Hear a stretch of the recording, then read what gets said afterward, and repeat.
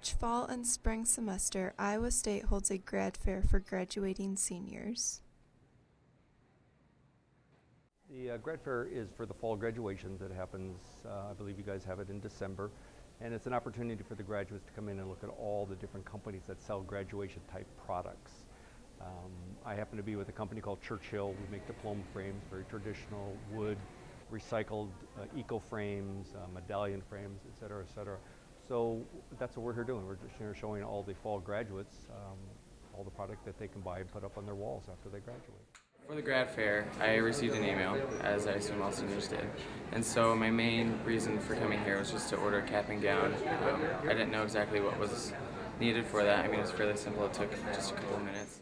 Hi, my name is John Mahoney. I work for the Oak Hall Cap and Gown Company, and the reason why I'm here is we have a grad fair for the December uh, 2012 graduates.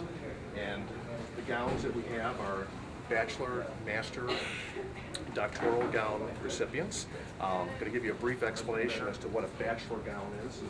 Uh, bachelor gowns that the students wear are black. They have bell-shaped sleeves, and they come in sizes from four foot seven all the way up to six foot five.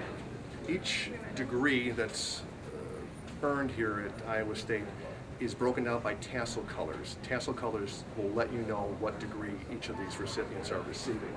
I've been here at the school for about 25 years. We come twice a year, December and in the spring for the May recipients. Um, that's pretty much it. It's a pretty simple process.